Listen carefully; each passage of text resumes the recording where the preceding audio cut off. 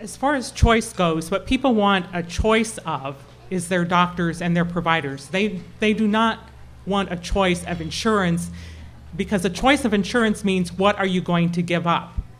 If we have a single payer plan, you don't have to give up any coverage. We know that the single payer plan has for it that it works because it has worked in other countries.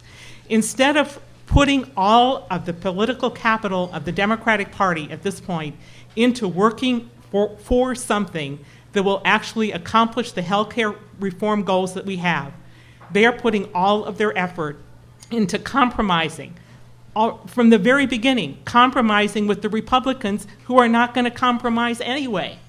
They're going to hold to, to what they say no public plan.